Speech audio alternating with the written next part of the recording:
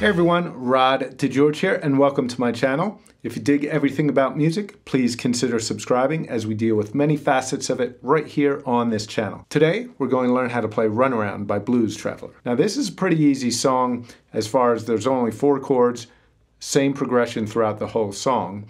They're basic chords, however, the changes are fairly quick. What we're doing is G, then we go to the C, A minor, D, D sus4, back to G.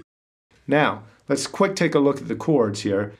So what I'm doing for the G is second finger, third fret of the sixth string, first finger, second fret of the fifth string, then we have the fourth string, the D open, third string, the G open, then we're playing this D note, third finger, third fret of the second string, and then that high G on the first string, third, fret, first string, we're using our pinky.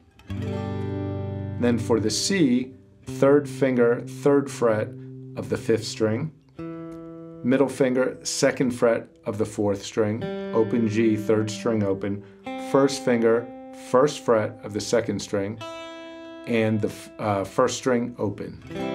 Now, from going from that C to that A minor, we just move that third finger from that fifth string to the third string, second fret.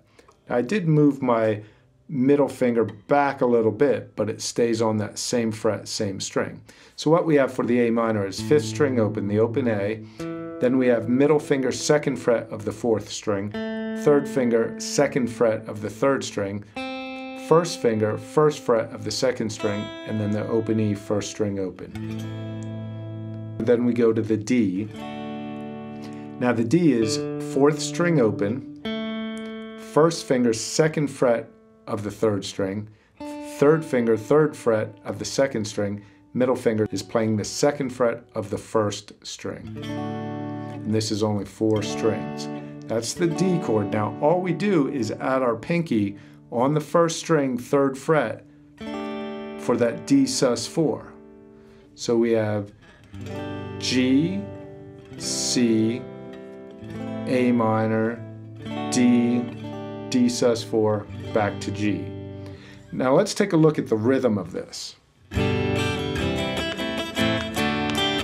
All right, so we have one, two, and three. So one, two, and three, and down, down, up, down, up.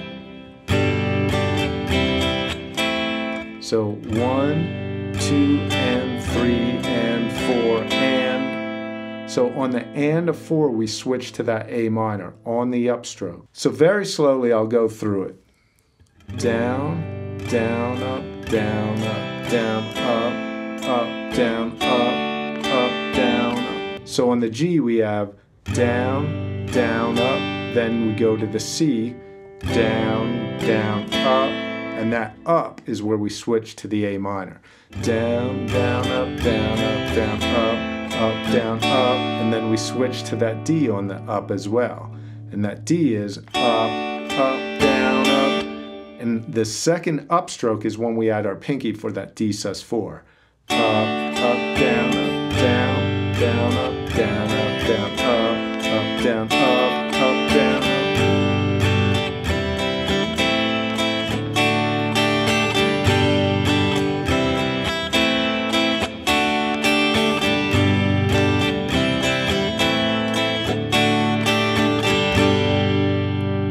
So hopefully you found this helpful.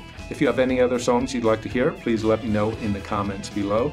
If you'd like to see more videos, please consider subscribing and hitting the bell notification next to the subscribe button. That way YouTube will keep you up to date.